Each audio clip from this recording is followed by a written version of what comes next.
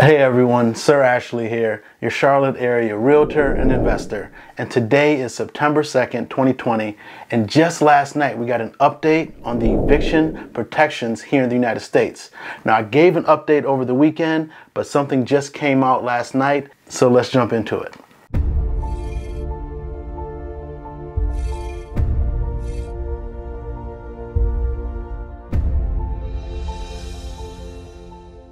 Before we jump into it, hit that like button as it brings more attention to this channel and just brings more awareness to what I'm trying to share to people, keeping them updated to news related to real estate and just all things real estate. I know many people hate watching the news, so I try to break it down into a couple minute segments so you know exactly what's pertinent for you. All right, let's jump into the topic.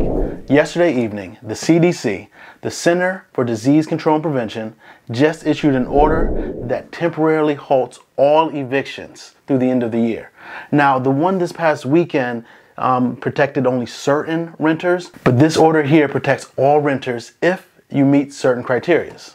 Now you can qualify for this eviction protection if as a single person your income is less than 99,000 and if you're a joint filing as a couple your income has to be under 198,000. The order says they're going to use your past tax returns to establish your income.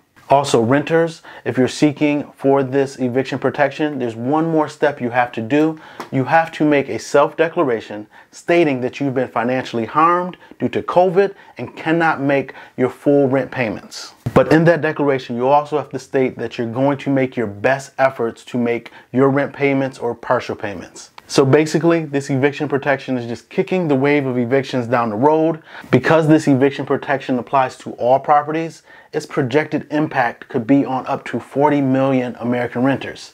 But renters, please know, you're still liable for all of these rent payments. It's just that the landlord cannot evict you for non-payment. If you as the renter sign the self-declaration and you meet the financial guidelines. Landlords, I know this is tough for you and I'm sure a lot of you did not like this news from last night.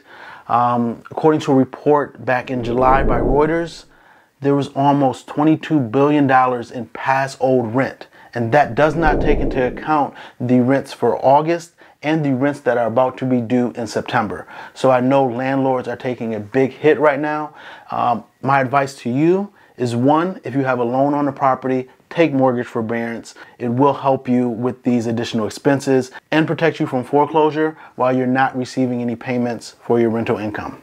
But if you're a landlord and don't have a loan on your property, I can't stress this enough. It is important that you ensure that you do whatever you can to negotiate with your tenants to at least get some kind of partial payments. Thank you so much for watching this second update on eviction protections. If you've liked it, please consider subscribing and also hit that like button and follow button. Thank you so much for all of you that have already. Have a good day and talk soon.